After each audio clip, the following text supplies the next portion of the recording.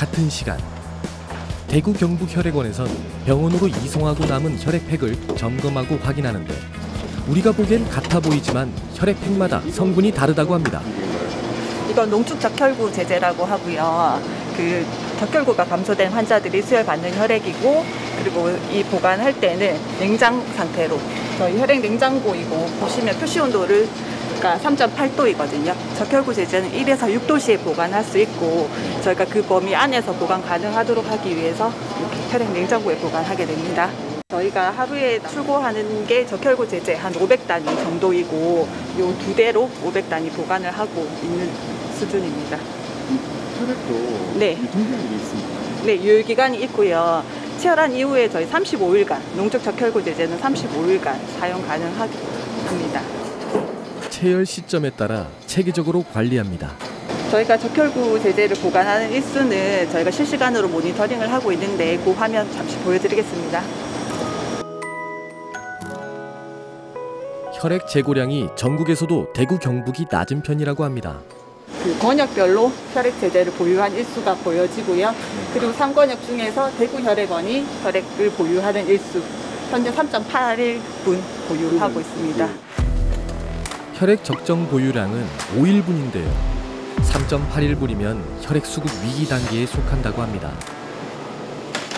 저희가 의료기관에 충분하게 공급을 하려고 하면 이 냉장실에 선반이 가득 차 있는 정도가 되어야 하는데 지금 보시다시피 빈 곳이 많습니다. 하루 필요한 대구 경북의 혈액량은 405명분인데 응급 상황에선 여유분이 없어 대비하기 힘듭니다. 2019년도에 비하면 헌혈은 좀 많이 떨어져 있어요. 저희가 회복하는 데는 아직까지 완전 회복되었다고 할 수가 없는 상황입니다. 병원으로 혈액을 보내고 나서도 이곳은 여전히 바쁩니다. 여기는 혈액 제제 제조실인데요. 체열한 혈액이 환자들에게 수혈할 수 있도록 혈액을 제품화하는 공정 과정을 거쳐야만 합니다. 아, 여기는 이제 공급팀에서 헌혈된 혈액을 인계 받아가지고 성분 제재별로 제조하는 곳입니다. 헌혈을 한다 해서 이렇게 피를 바로 쓸 수 있는 게 아닌가 보죠. 네, 그런 바로 쓸 수 있는 건 아니고 검사도 나와야 되고 이렇게 필요한 제재별로 다 분리가 돼야 되기 때문에 그 과정이 지금 제재팀에서 제조하는 과정입니다. 이곳에선 하루 2, 3회 정도 혈액팩을 인계받아 작업하는데요. 작업 시간은 보통 1시간에서 1시간 반 정도가 걸린다고 합니다.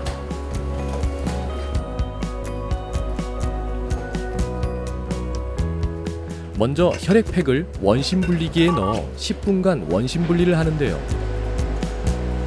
그리고 나선 혈액과 혈장을 추출하는 과정을 거칩니다. 환자마다 필요한 성분이 다르기에 일종의 맞춤형 혈액을 만드는 셈이죠.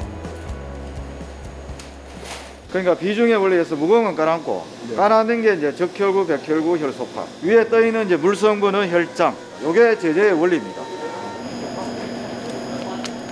자 시범을 한번 어떻게 원리냐면은 분절막을 이렇게 부러뜨리거든요. 그러면은 이렇게 서브백에 혈장이 이렇게 넘어가는 거예요. 지금 내려가는 건 혈장인가요? 그렇죠. 예. 예, 상층부에 있는 혈장이 넘어가고 있어요. 정확히 말씀드리면 이제 PRP라고 합니다. 혈소판 풍부 혈장. 보통 20cc의 혈액에서 약 2cc 정도가 나온다는데요. 이 성분은 특별한 환자에게 수혈됩니다. 백혈구가 들어갔을 때 이제 위해 요소가 있는 환자들한테 발열방이라든지 안 그런 알러지 반응이 있을 때 그 병원의 요- 처방 요구에 따라 가지고 백혈구를 제거된 혈액을 보내달라고 하면은 백혈구 여가 제거 적혈구 제제를 청구받아서 공급하게 됩니다. 이렇게 특성에 맞춘 성분별 혈액은 특이한 질환의 환자에게는 꼭 필요한 생명줄이 되는 거죠.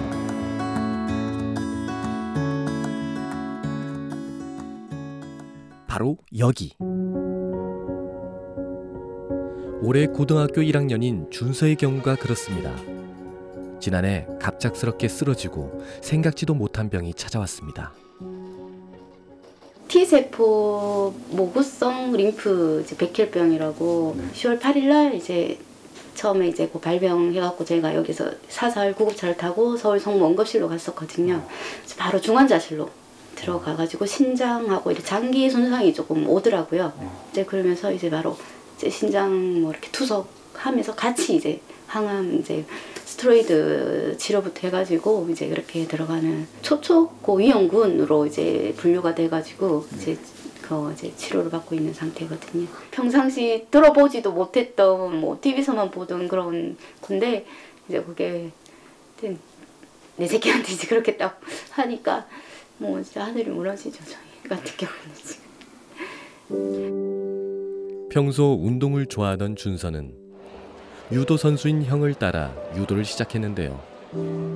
학교 대표 선수로 각종 대회에 참가했던 유망주였습니다. 그런 준서를 지켜보는 형도 마음이 무겁습니다.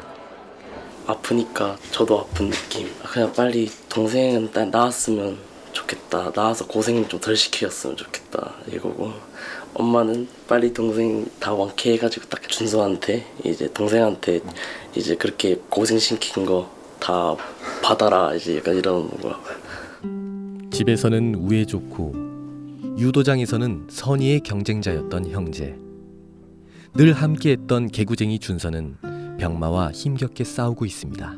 지금 항암 치료를 계속 하고 있는데 이제 그 다 죽여버리잖아요 안에 몸속에 있는 것들을. 그러면서 수치가 완전 축축축 떨어지더라고요.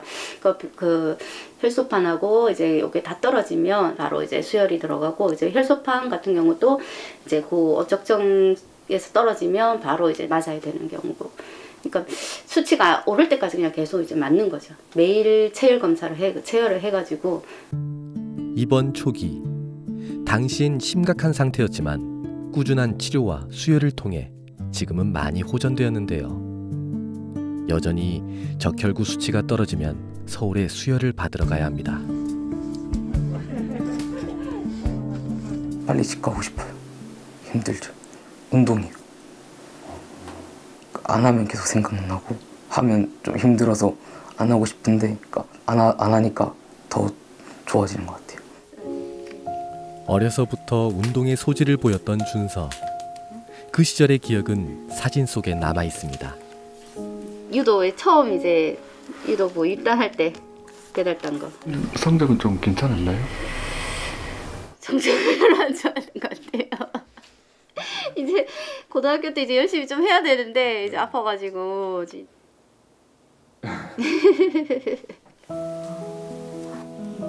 누군가의 따뜻한 나눔 덕에 준서는 또다시 내일을 꿈꾸고 있습니다. 피를 준 사람한테 고맙죠. 나도 빨리 나와서 누굴 도와주고 싶다는 생각. 우리의 혈액 한 방울이 준서에겐 힘이 되겠죠. 코로나19의 여파로 혈액 헌혈이 수급에 급격히 또다시 불면서 빨간 불이 혈액 부족 현상이 만성화할 것이라는 헌혈하는 사람의 수가 가파르게 줄고 있습니다.